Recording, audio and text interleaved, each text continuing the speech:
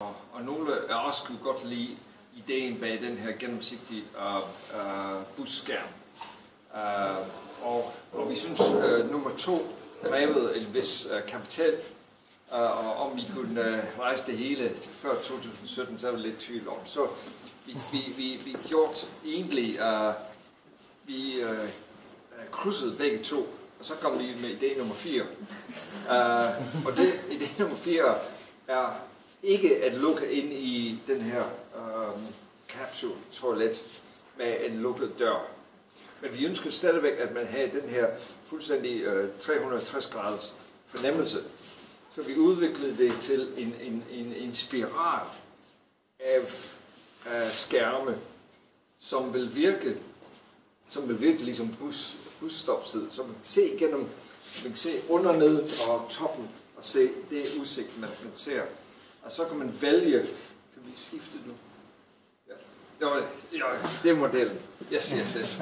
Uh, og vi, vi planlægger, at det er tæt på kysten, man kan se ud over fjorden, og så tæt på uh, selve bjerget også. Og ideen er, at, at heroppe, omkring ring, så er der videokamera. Og de, de tager billeder af, øh, af omgivelsen i 360 grader, og så øh, det, man kan se inden er, er nutid, og så vælger man, hvor langt man ønsker at gå tilbage, eller hvor langt ned man ønsker at gå i jorden, fordi den her vil også transportere en ned i jorden, blablabla, for at se geologisk. Øh, eller vi kan også flytte det ud i fire år og gå ned og se bopladserne virtuelt. Men ellers kan man gå tilbage i tiden, således at man kan se vikingskibe og andre skibe på, uh, på fjorden. Og så kan man også vælge for eksempel savn og, og de andre ting. Um, og så opleve de her ting på, uh, på skærmen, ligesom I så på, på busstopstedet. Mm. Og vi synes, det er en god ting ved, at man tager loftet væk, og her, det at man kan se græsset, og se træerne under mm. neden, og se himlen op, at man er meget mere stedbestemt, men stadigvæk, at man kan se igennem egentlig uh, det hele. Og at vi, vi regner med at, at bruge fuldstændig standard uh, OLED-skærm, som man kan få i dag, sådan at vi kan hurtigt få det her realiseret.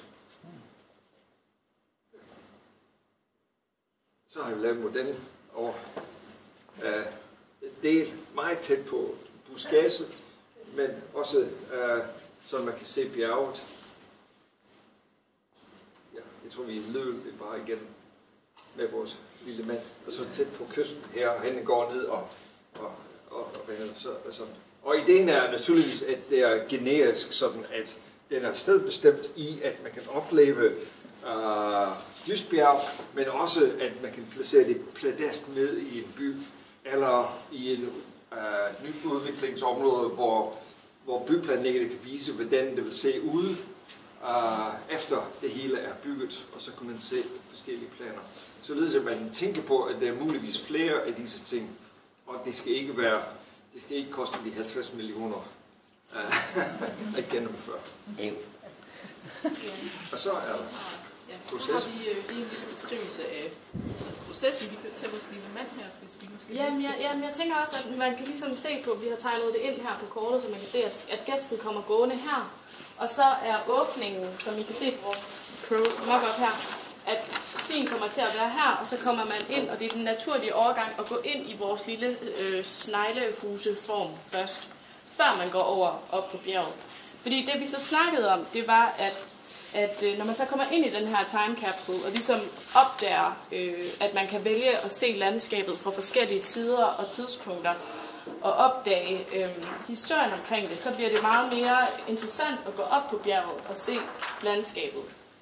Det, som vi ligesom tænkte på, det var, at vi vil gerne kommunikere, øh, hvad hedder det, den fortælling, der er om fortiden og nutiden på individniveau, hvor at landskabet på en eller anden måde bare kommer til at danne baggrund så det bliver meget mere øh, omkring den øh, stenalderfamilie, der er ageret på en bestemt måde på det her tidspunkt, eller en nutidig familie, der kommer ned og bruger det her område til at holde øh, familiefødselsdag, end det bare kommer til at handle om, at man ser landskabet. Fordi at på den måde, så kan man så, efter man har været inde i øh, The Time Capsule, bestige Dysbjerg øh, med stedets ånd i bevidstheden og med øh, følgeskab af alle de mange mennesker, der igennem tiden har været og levet på det her sted.